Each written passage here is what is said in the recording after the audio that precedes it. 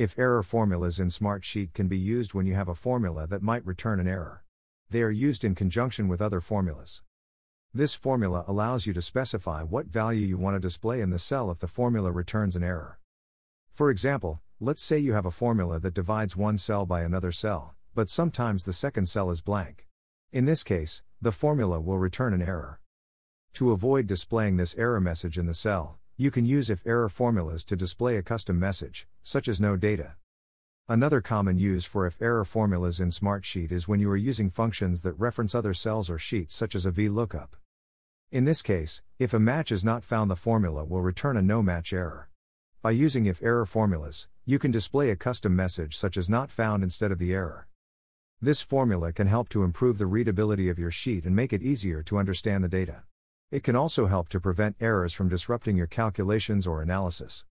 For example, we have a formula that returns the month a job was completed.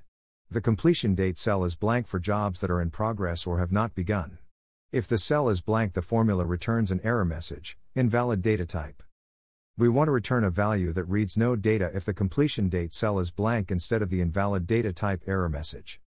Open the sheet in which you want to use the if error formula and select the cell where you want to display the result of the formula. Type the equals sign and if error followed by an open parenthesis in the formula bar, followed by the formula you want to use.